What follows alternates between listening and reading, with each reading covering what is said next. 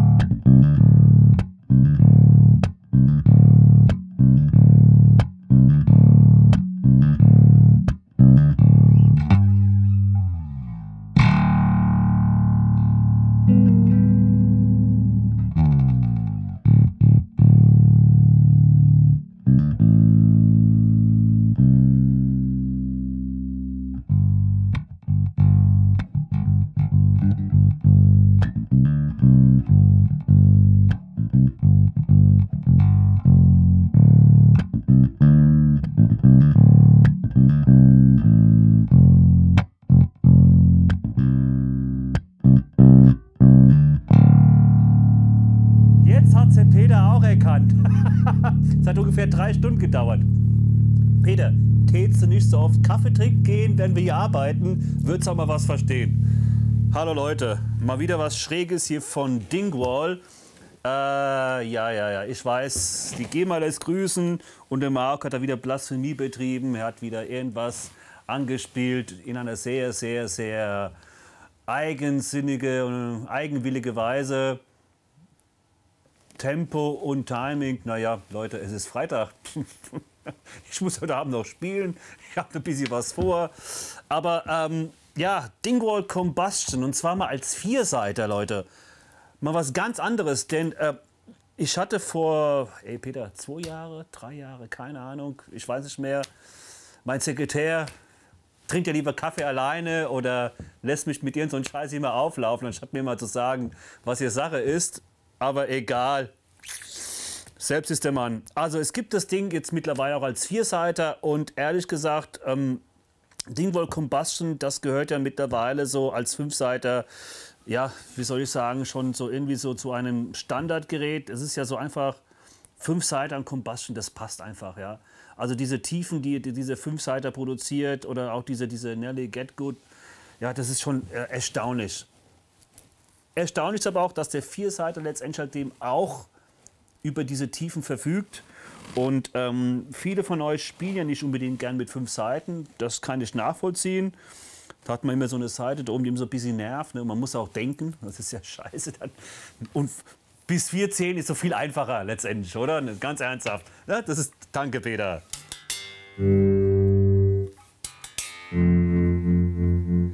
Ja, und der Vierseiter von Dingwall, den habe ich heute mal hier auf D runtergestimmt, ähm, weil, wie gesagt, die Tiefen, die das Ding produziert, als Vierseiter sind schon recht heftig. Das heißt, ähm, wenn ihr wirklich einen vierseitigen Bass sucht, der A, erstmal ähm, cool aussieht, weil ich finde, dieses, dieses schöne Esche, ja, mit den Schwarz, das macht echt einen schlanken Fuß, 24 Bünde, schöne schräge Bünde, ne, Fan-Fret-System, wie man schon das hatte, ähm, Dingwall-Tonabnehmer und eine neue Elektronik, das macht schon wirklich sehr, sehr viel Sinn, denn dieser Bass klingt A erstmal schön klar. Und er klingt echt scheiße tief, muss man sagen.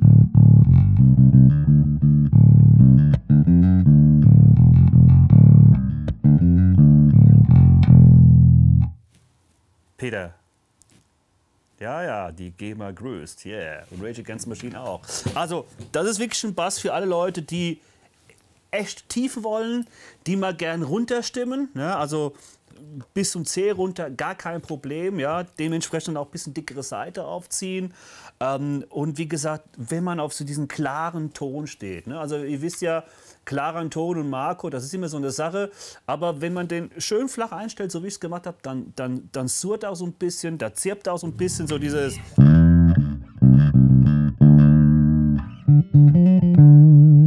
Ja, dann, dann kommt so ein bisschen Dreck rein und man kann natürlich halt auch hier mit, äh, mit solchen Sachen wie ein bisschen Zerr und so weiter kann man wirklich auch ordentlich äh, Radau machen.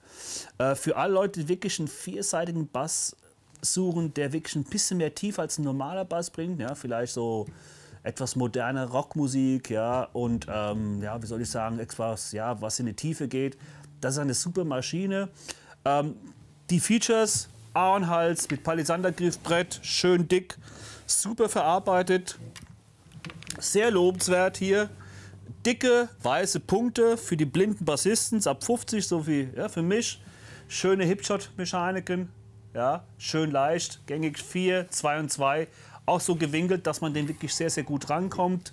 Extrem gut finde ich hier den Seitenlead für alle vier Seiten, was natürlich halt den, den Druck auf die Kopfplatte wirklich sehr, sehr vergrößert und dadurch halt dem die Kopfplatte wirklich steif macht, damit sie halt dem nicht so sehr rumschwingt. Äh, Einfaches Schlagbrett mit, äh, auch toll hier, Einführhilfe für die ganzen Imbusschlüssel.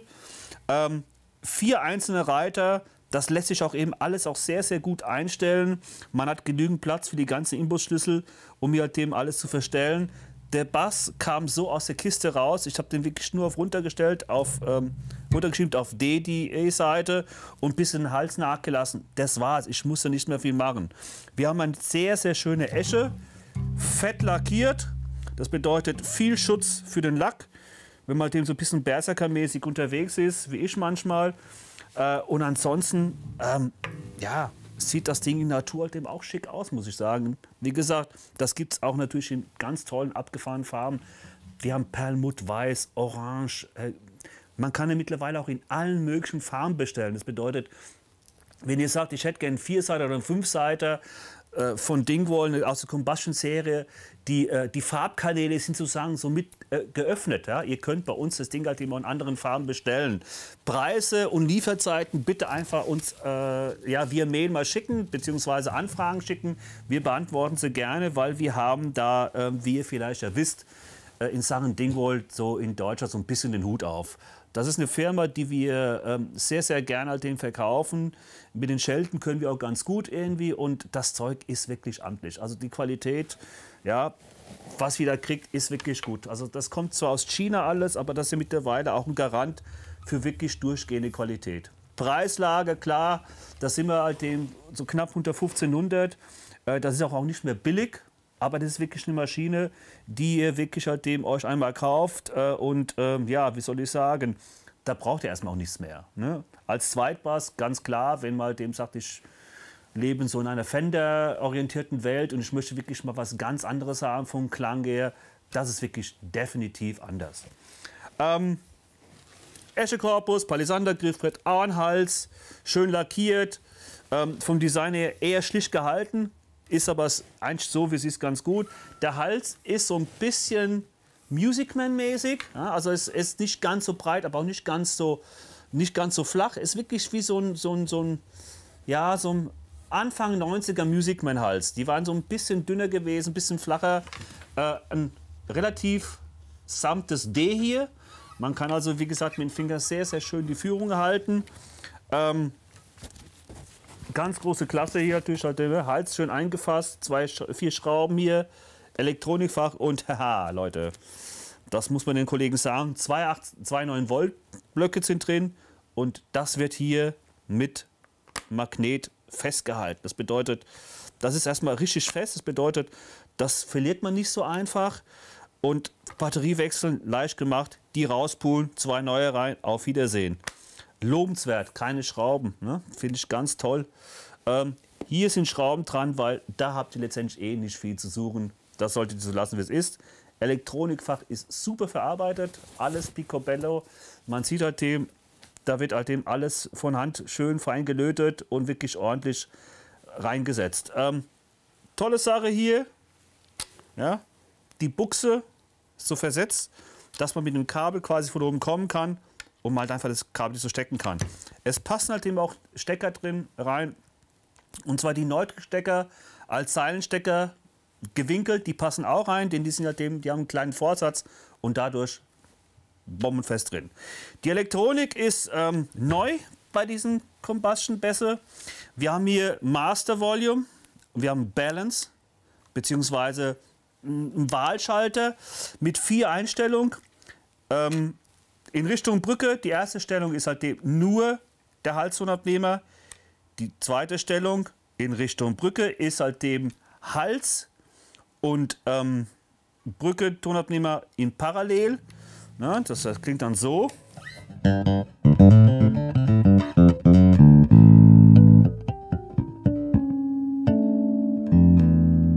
Also ein bisschen dünn, ne?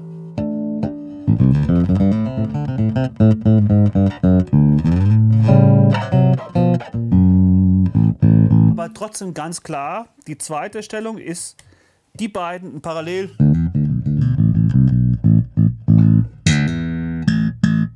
Sofort wird der Ton so ein bisschen kehlig.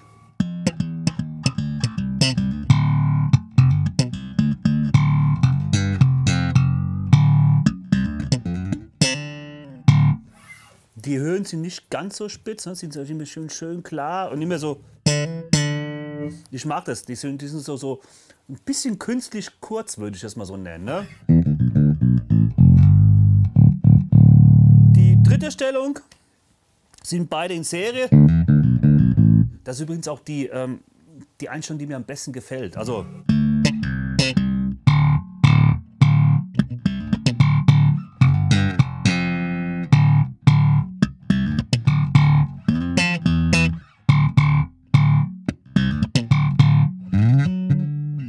Also wir. Ja, das klingt so wirklich so ja, wie als wird man, hätte man den Bass schon aufgenommen, ganz klar abgemischt, leicht komprimiert und äh, kräftig halt dem. Ja. Ich finde so, der meiste Schmutz ist in dieser Position. Dann haben wir halt dem dann die letzte Position, das ist halt dem.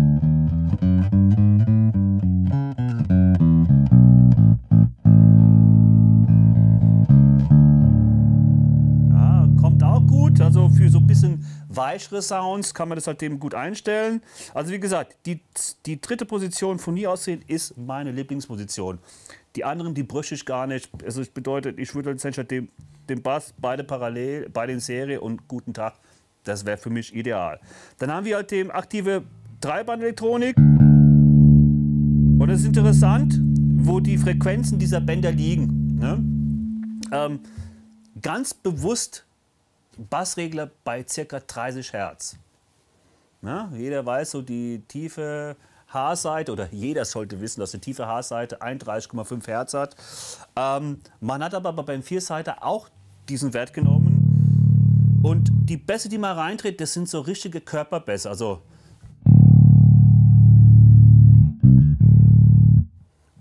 Peter, ich hoffe, du hast einen Kompressor und Limit an. Ja, er sagt Hey Markus, mir doch scheißegal, Pro Tools macht du eh alles. Ja, ist klar, Mann. Nein. Wirklich so richtig so, so richtige Körperbässe.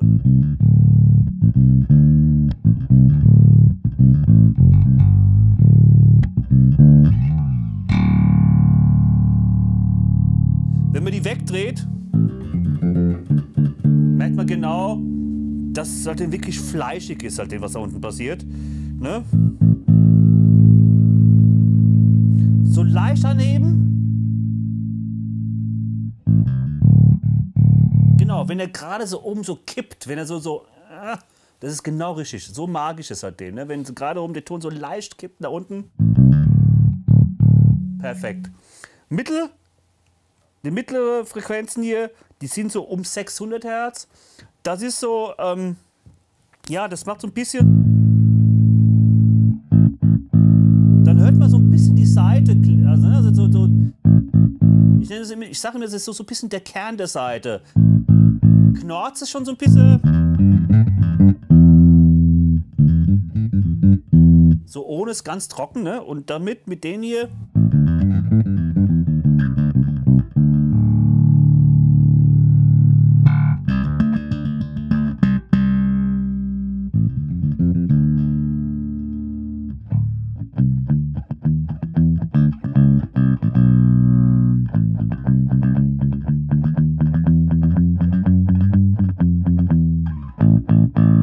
Auch man, man hört den Plektrum ganz gut.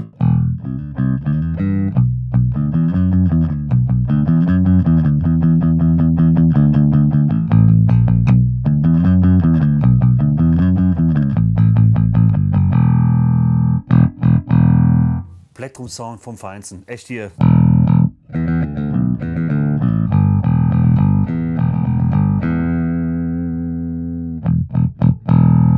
Großartig. Also Mittenfrequenzen auch sehr, sehr interessant.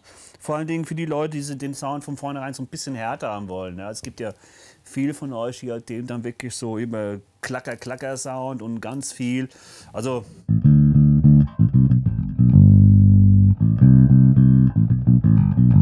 Da wird er so ein bisschen knochig auch schon, finde ich, der Sound. Finde ich auch klasse. Und der Höhenregler. Der Höhenregler ist, äh, ja, der ist bei 6 Kilohertz. Und der ist genau richtig um diesen.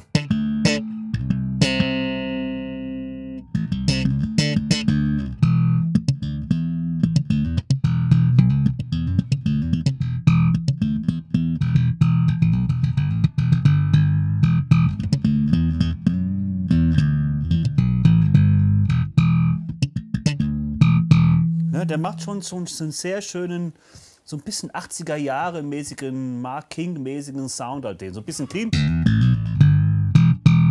Ansonsten kann man den halt dem.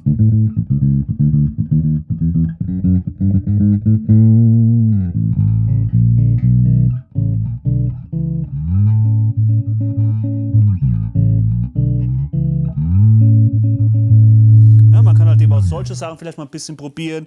Ähm, ja, die Elektronik lässt sich natürlich halt irgendwie ausschalten mit diesem Schalter. Oben aktiv, unten passiv. Dann habt ihr natürlich aber nur diese beiden zur Verfügung. Das heißt, in meinem Aufnahmebetrieb beispielsweise